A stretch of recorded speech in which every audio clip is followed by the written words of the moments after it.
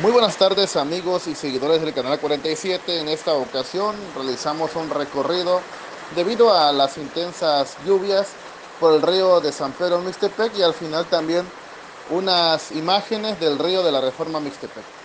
Comentarles que eh, ambos ríos están a su máxima capacidad y eso nos, nos da mucha alegría, pero también queremos dar algunas recomendaciones sobre todo para que evitemos cruzar algún río o arroyo y si vives en algún lugar cercano, pues también evacuar para evitar poner en riesgo a nuestras familias y sobre todo a los adultos mayores y, personas con discapacidad. Eh, los dejamos pues con las imágenes, es el reporte, muy buenas tardes.